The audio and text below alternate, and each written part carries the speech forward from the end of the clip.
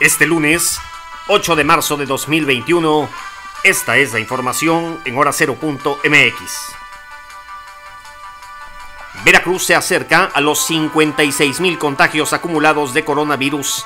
La entidad se enfila hacia las 8.500 defunciones.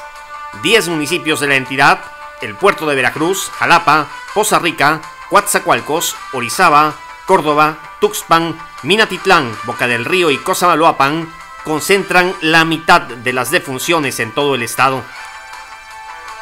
Del 1 de enero al 28 de febrero del presente año, unas 35 mujeres han sido asesinadas en Veracruz de acuerdo con datos de grupos feministas.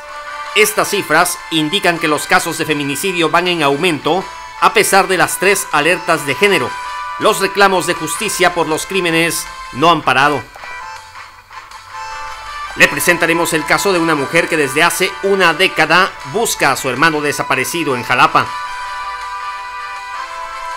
La Comisión Nacional del Agua pronostica chubascos dispersos en las regiones de montaña de Veracruz, desde la cuenca del río Tuxpan hasta el Tonalá, sin descartar lluvias puntuales fuertes en las partes altas del Pánuco y Río Blanco durante el lunes, concentrándose el potencial en la zona montañosa central y sur de la región, con intervalos de chubascos que disminuirán el miércoles.